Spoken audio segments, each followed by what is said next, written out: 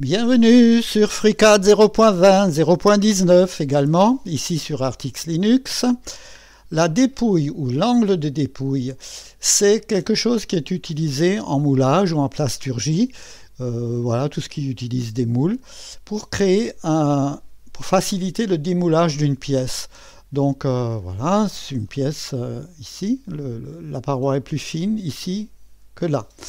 Donc souvent on aurait tendance plutôt, quand on ne pense pas à cette icône-là, qui est faite pour hein, créer une dépouille, à créer des pièces complexes avec des lissages ou des, ou des balayages, alors qu'il y a un outil tout fait. Encore faut-il savoir l'utiliser.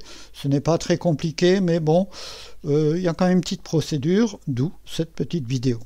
Alors on va y aller.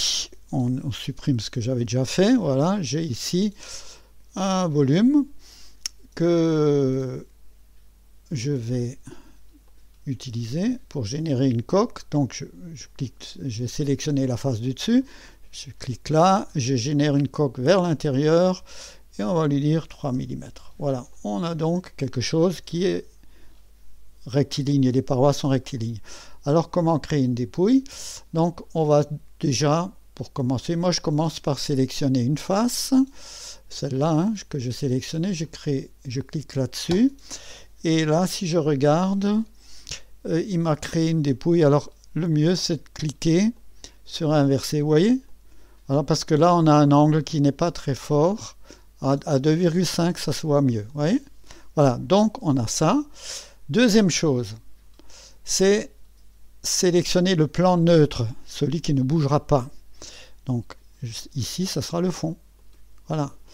Alors, suite à ça, on clique sur ajouter une face et nous allons ajouter les faces qui n'ont pas encore été prises en compte. Je crois c'est ça, sans presser CTRL, ça et ça. Je crois que c'est tout. Sinon, on les rajoutera ultérieurement. Je regarde de côté, voilà, sauf que c'est l'inverse, mais c'est pas grave. Je clique sur inverser et ok, tout y est. Voilà, je peux mouler ma pièce et je pourrais la démouler sans problème. Voilà cette petite vidéo euh, pour, euh, ben, pour y penser le jour où, vous faites un dessin ou moi-même pour un moule. Voilà, parce que un outil est là. Encore faut-il savoir s'en servir. Voilà, à bientôt pour la suite.